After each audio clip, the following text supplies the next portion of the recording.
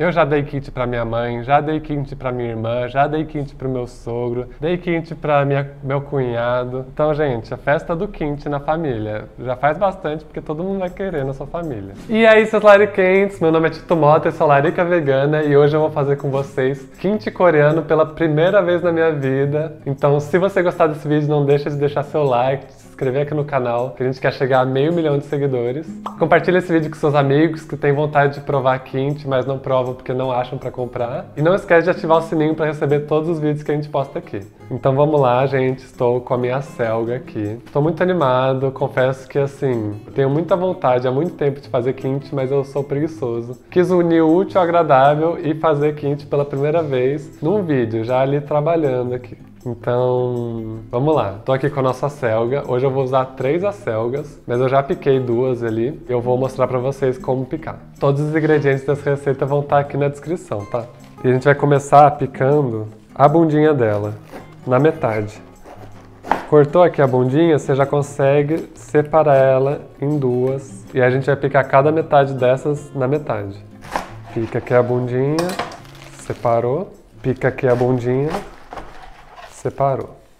Gente, para fazer essa receita eu tô seguindo aqui um vídeo de um canal chamado Nuna Coreana, que tem um vídeo muito bom. Ela é coreana realmente, e ela ensina a fazer um quente muito fácil. Que no caso é um quente que você já vai fazer ele todo picadinho. Dá para fazer o quente também com esses quartos de acelga, só que é mais complexo e não é isso que a gente vai fazer. Aqui a gente tá, tá no nível principiante de quente ainda. Então vamos picar isso aqui do tamanho que é bom de comer. Primeiro a gente vai cortar essa parte do talinho aqui. E aí a gente vai cortar os nossos pedaços. Cada um quarto desse dá para fazer uns três cortes, assim, mais ou menos. E a gente vai vir aqui e fazendo os nossos cortes nos tamanhos bons para comer, que é mais ou menos assim, ó. O vídeo da Nuna Coreana vai estar tá aqui embaixo na descrição, tá? A gente pega essas nossas selga picadas e já vai botando numa vasilha. Aí para cada quarto desses que a gente picou, a gente vai adicionar uma colher de sopa de sal grosso. E vai dar uma misturadinha assim. Na verdade, eu não expliquei o que é kimchi, né? Kimchi é o prato nacional da Coreia, é tipo a nossa feijoada aqui. E é um prato de acelga fermentada, bem apimentado. Então, assim, eu nunca fiz nada fermentado, minha primeira vez com fermentados. Tô perdendo a minha virgindade com vocês. Espero que seja bom para todos nós. Cortou nosso outro quarto aqui de acelga. Vamos botar junto aqui. Uma colher de sal grosso e dar uma misturada.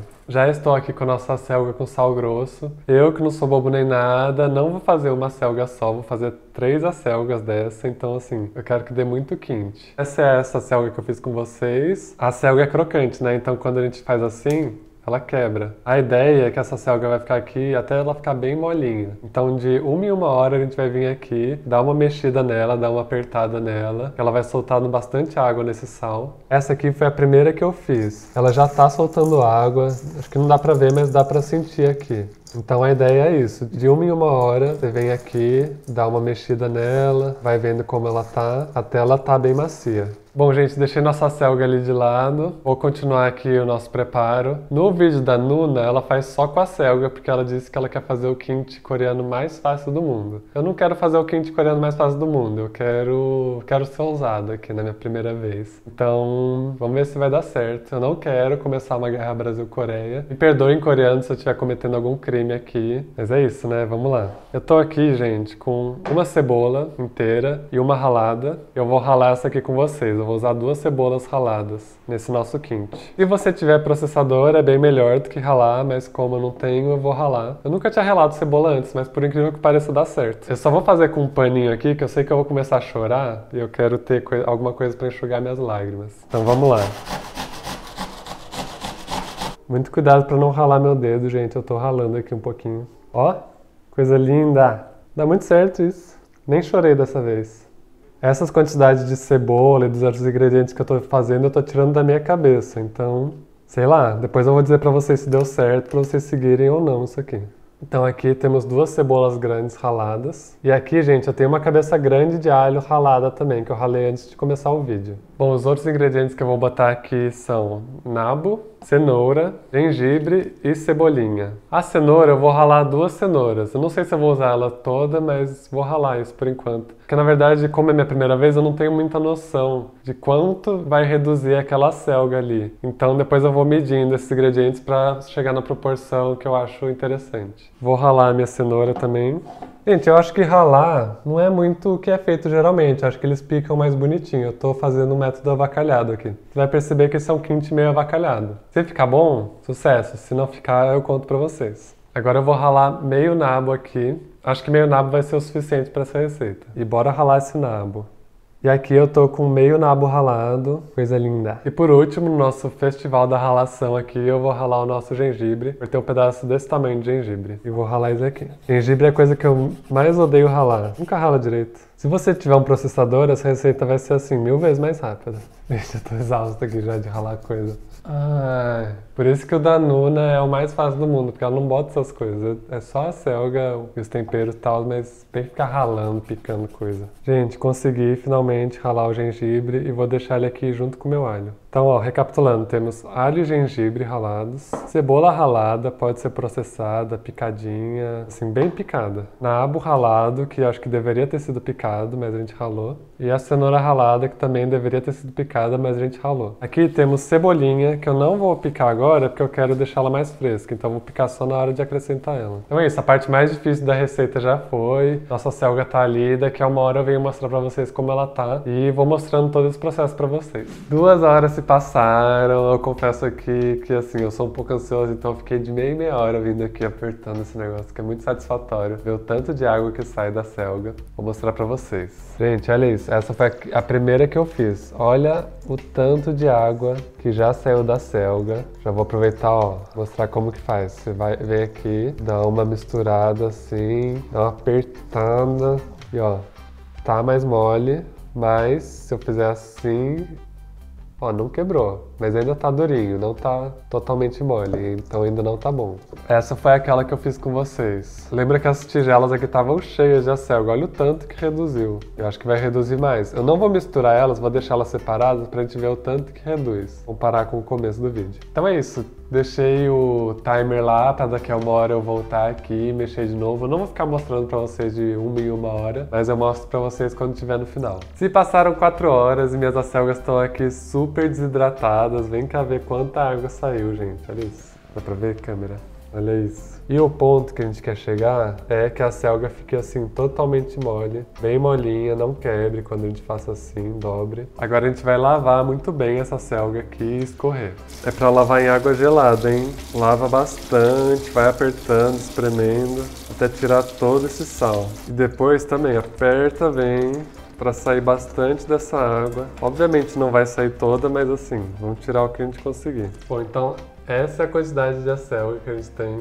Tô animado com a quantidade de quente que vai dar para fazer com essa receita, sério. Murchou muito, então mais do que eu imaginava, então eu vou dar uma reduzida nas quantidades dos outros ingredientes aqui, para não ficar exagerado. Primeiro eu vou colocar o nosso alho, nosso gengibre. Isso aqui eu não vou reduzir não. Tem uma cabeça de alho e aquele pedaço de gengibre que eu ralei com vocês.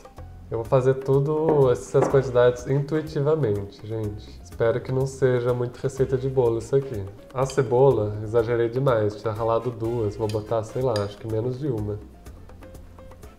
Acho que eu botei uma cebola. O nabo eu vou botar quase tudo. Agora a cenoura, que foi o que eu mais exagerei, eu tinha ralado duas cenouras. Não vou botar tudo isso, que eu não quero que fique com tanta cenoura assim. Aqui eu tenho um ramo de cebolinha que eu piquei já. Vou misturar. Ai, gente, coreanos, não me matem, por favor. Parecendo uma saladona, né, isso aqui. Acho que vai ficar bom. Não tem como ficar ruim isso aqui. Bom, o próximo ingrediente é o açúcar. Eu vou botar duas colheres de açúcar demerara aqui. Bom, e o último ingrediente que falta para o kimchi é o segundo ingrediente mais importante do kimchi e nós não temos porque não tem no Brasil, tem que comprar importado, é caro, não achei. E assim, meu pai já tinha feito kimchi uma vez e ficou muito bom. Eu liguei para ele perguntando onde que ele tinha achado a pimenta coreana, que é o ingrediente que está faltando. Ele falou que não achou e botou páprica e pimenta calabresa. Então, no na coreana, eu sei que você falou que não podia botar nenhuma outra coisa além da pimenta coreana coreano, peço desculpas pra você, mas eu vou botar, vou tentar dar um jeitinho brasileiro aqui. Eu tô fazendo esse experimento pra você em casa não precisar fazer, vamos ver se vai dar certo. Eu vou botando intuitivamente aqui também. Começar com duas colheres de sopa de páprica picante e uma colher de sopa de pimenta calabresa. Ó, já tá, pelo menos a cara tá ficando de quente. Vamos ver se o gosto vai ficar depois. Ainda não chegou numa cor tão avermelhada, então vou botar mais um pouco de cada um. Ó, agora acho que a cor tá ficando legal. A galera misturou com a mão, vou tentar misturar com a mão aqui. Espero que minha mão não fique ardendo. Hum, é gostoso. Nossa, sim. Tá, agora a gente vai deixar ele bem compactado, todo mergulhadinho aqui nesse líquido, e eu vou tampar. É, eu não tenho um pote tão grande com tampa para deixar isso aqui tampado, então vou deixar tampado assim mesmo, nesse pote com um prato em cima. Se você for deixar num pote de vidro assim tampado, nunca encha até o final. Deixa pelo menos os dois dedos assim com ar para o pote não explodir quando o negócio estiver fermentando. E a gente vai deixar isso aqui fermentando por 24 horas fora da geladeira, num local assim que não pegue sol, um lugar meio sombra assim da cozinha. E eu vou mostrando esse processo para vocês, vou mostrar daqui a 12 horas, por exemplo, pra gente testando. E é isso isso. Depois disso vai ficar mais uns dois dias na geladeira ainda. Então agora é torcer para dar certo. Que os deuses da fermentação façam seu trabalho e transformem isso aqui num quinte maravilhoso. Tô invadindo aqui porque eu acordei muito cedo e eu tô curiosa para saber como que tá esse quinte. Eu acho que o Tito só vai ver essa parte quando, quando o vídeo sair mesmo. Ou não, não sei. Mas vamos lá ver. Porque a estrela desse vídeo é esse bebê aqui que tá descansando. Gente, olha como já tá bem vermelhinho. O cheiro da fermentação, aquele perfume gostoso da fermentação já tá aparecendo. Nossa, tô muito curiosa pra ver como vai ficar isso. Já já o Titinho vai voltar e mostrar pra vocês o resto do processo. Se passaram 24 horas que o nosso quente está aqui fermentando e, gente, assim, que cheirinho de fermentação delicioso. Você vai saber que está fermentado pelo cheiro. Você vai sentindo, vai reconhecer o cheiro de fermentação. Eu tava meio inseguro, assim, se eu ia saber o cheiro, mas é inconfundível, assim, quando você sente o cheiro de coisa fermentada, ó. Não soltou muita água, tem bastante aqui. Já tá fermentado, então eu vou mandar para os potes e para geladeira. Então, ó, botei nos meus potinhos. Aí a gente vem aqui e deixa ele bem compactado, bem apertadinho aqui. Como você vai deixar os potes fechados, não enche até o final, porque a fermentação vai soltando gases, eu acho. Senão o pote pode estourar se estiver muito cheio. Eu tô combinando comigo mesmo que esse aqui eu vou deixar dois dias na geladeira, como manda a receita original. Esse aqui eu vou ir comendo enquanto isso, gente, porque já tá bom, assim. Vou ser bem sincero com vocês, essa noite eu vou jantar quente já. Tô me esforçando para não comer tudo antes dos dois dias. E é isso, tampa e manda para geladeira dois dias para acabar esse processo de fermentação. Meu povo, quente tá pronto! E agora chegou a hora de laricar. Gente, estou muito emocionado. Olha esse quinte, coisa mais linda do mundo. Sério. Eu que fiz, gente. Estou muito orgulhoso.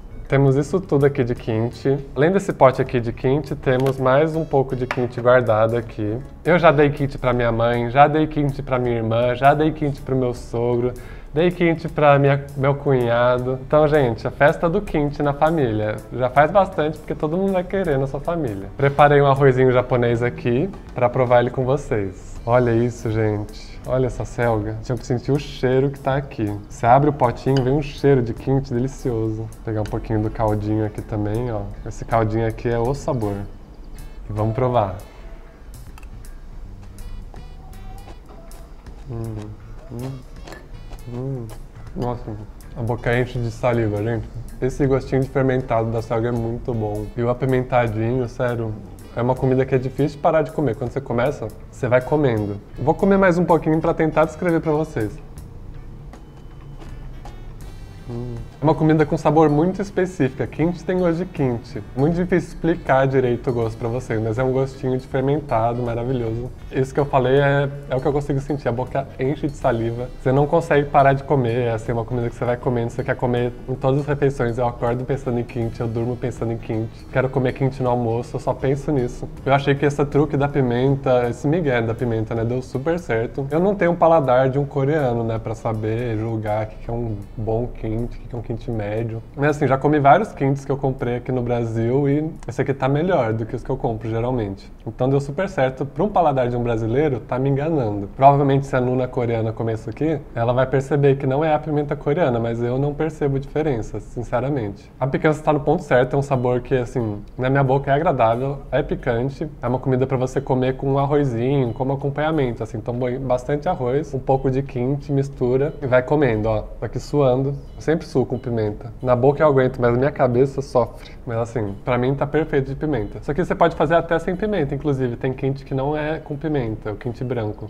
Então você vai botando a pimenta de acordo com as suas possibilidades, seu gosto. Eu senti que ficou um pouco salgado aqui. Eu acho que eu segui a medida exata do vídeo da Nuna, só que a selga dela era maior que a minha. Então acho que em vez de 4 colheres de sopa de sal grosso por acelga, eu botaria 3. E eu tentaria na hora de lavar, lavar um pouco melhor, sabe? Passar mais água, espremer melhor, para ver se fica um pouco menos salgado. Não é um sal que tá ofendendo muito, principalmente por ser uma comida que você come junto com arroz. Esse arroz aqui eu fiz sem sal nenhum para compensar isso. Acho que eu botaria um pouco menos de alho também, que eu botei uma cabeça inteira bem grande, assim, talvez eu usasse meia cabeça, dois terços de cabeça. Não que não tá saboroso, mas depois fica aquele gosto de alho, sabe? Dá um bafinho de alho. Tá muito gostoso, mas acho que eu vou botar um pouco menos da próxima vez. Fica aí a dica para se você for fazer em casa. Mas assim, gente, eu fiquei surpreso como deu certo. Eu achava que isso aqui era uma coisa mais difícil, assim, eu achava... Eu não fui seguindo muita receita, fui fazendo do que eu achava e deu certo, não é um bolo isso aqui. Vai fermentar, vai ficar gostoso. Recomendo que vocês tentem na casa de vocês, não tenham medo. Era uma receita que eu tinha muito medo. Eu nunca tinha feito nada fermentado na minha vida e deu super certo. Então, assim, já fiquei animado, quero fazer outras comidas fermentadas. Queria avisar para vocês também que se vocês forem comprar quente, leia o rótulo, porque muitos quentes vão peixe seco ou camarão seco. Então não é um prato que é tipicamente vegano, mas é muito fácil de achar vegano. Vários que eu já comprei aqui no Brasil não tinham esses, esses ingredientes de origem animal. Então, assim, o tradicional não é vegano, mas é muito fácil de veganizar, é só tirar esse ingrediente. Queria dizer que se você vai tentar fazer essa receita, assiste esse vídeo, depois assiste lá o vídeo da Nuna Coreana que tá aqui na descrição pra você entender um pouco melhor o passo a passo mais certinho. Queria falar para vocês que se você gosta desse canal, talvez você goste do nosso e-book de 46 receitas veganas, que assim, tem um monte de coisa lá, a gente tem lanche vegano, tem substituições, tem leites vegetais, doces veganos, snacks saudáveis,